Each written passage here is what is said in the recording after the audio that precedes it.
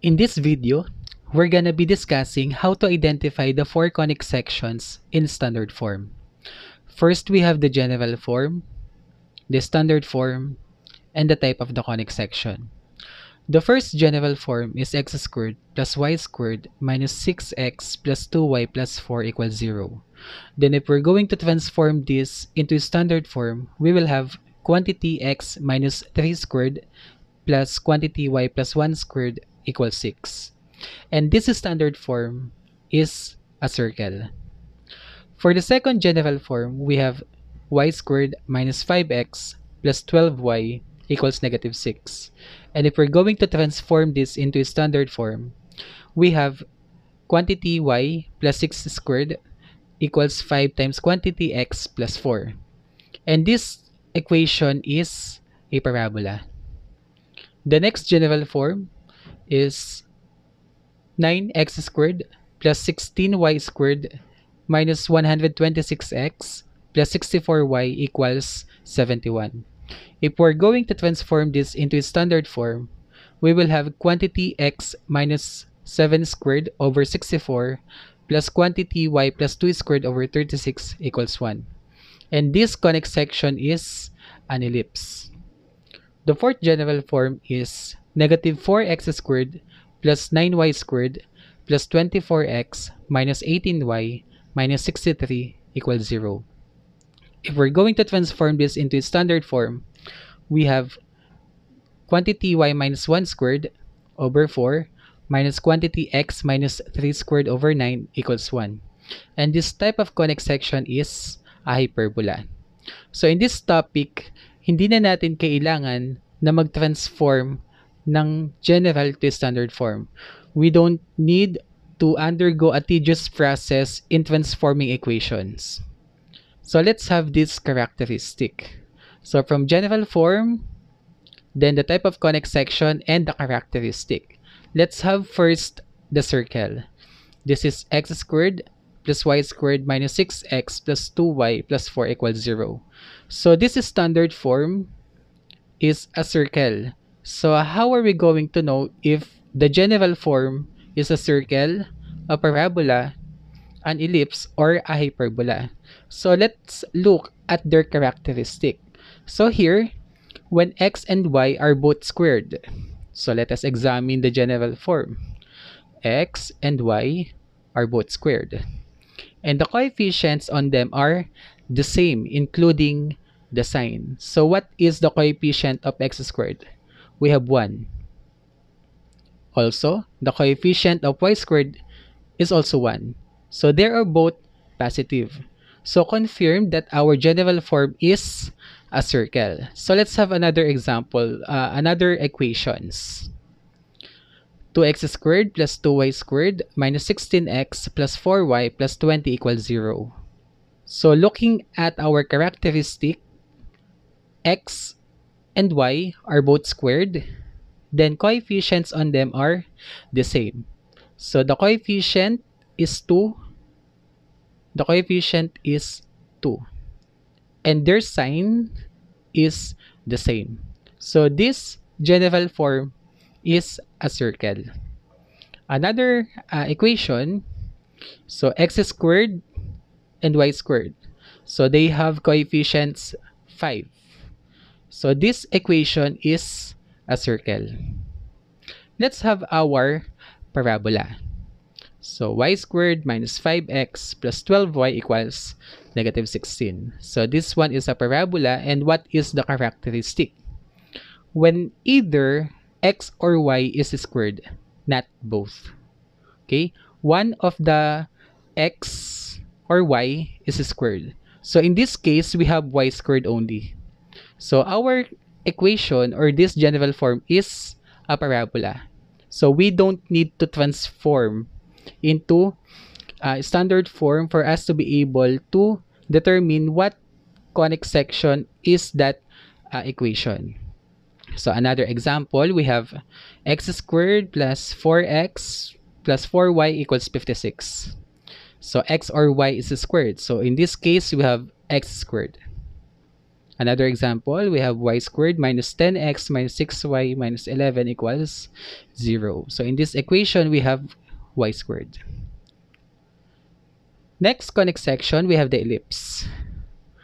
9x squared plus 16y squared minus 126x plus 64y equals 71. So what is the characteristic? When x and y are both squared. So just like the circle, they both squared. But the coefficients are positive but different. So as we can see, we have different coefficients of x and y. In x, we have the coefficient 9. In y, we have the coefficient 16. And they're both positive. So in this case, the conic section is ellipse. So another example, 4x squared plus y squared minus 8x plus 4y minus 9 equals 0. So x and y are both squared. Then the coefficients are positive. We have positive 4 and positive 1 but different. Another example, 2x squared plus 9y squared minus 16x plus 18y equals 11. Again, x and y are both squared. The coefficients are both positive. We have positive 2, we have positive 9, but different. Lastly, the hyperbola. We have negative 4x squared plus 9y squared plus 24x minus 18y minus 63 equals 0. So what is the characteristic for hyperbola? When x and y are both squared, and exactly one of the coefficients is negative and exactly one of the coefficients is positive. So 1 is positive, so we have positive 9 and 1 is negative, so we have negative 4. So x and y are both uh, squared. So this uh, general form is confirmed as hyperbola. So another example, 5y squared minus 9x squared plus 10y plus 36 minus 76 equals 0. So let us examine the equation.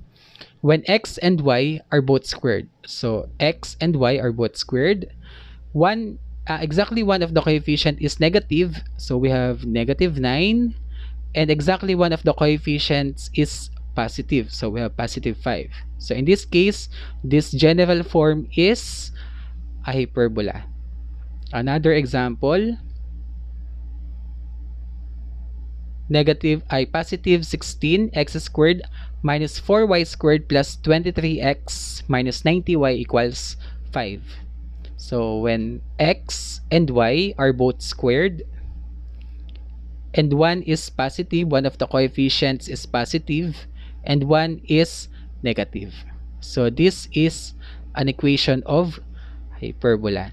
So let's discuss another characteristic. By using or examining using the general form which is the ax squared plus cy squared plus dx plus ey plus f equals 0. So we have the general form, the type of the conic section, and the characteristic. So in circle, we have x squared plus y squared minus 6x plus 2y plus 4 equals 0.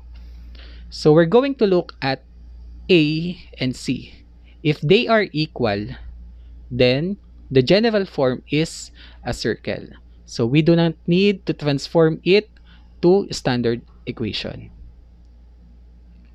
Again, A and C are equal, but not equal to 0. The next is the parabola. y squared minus 5x plus 12y equals negative 16. Either a is equal to 0 or c is equal to 0 but not both. Then a times c equals 0. That is our parabola.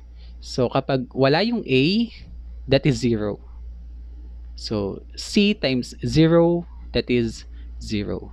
Kapag naman wala yung c or wala tayong y squared na term, c is 0. So that is a times 0 The answer is 0. So our equation is parabola. The next one is the ellipse. We have 9x squared plus 16y squared minus 126x plus 64y equals 71. So let us examine that a is not equal to c. Okay? So as we can see, a is 9 and c is 16. So a is not equal to c.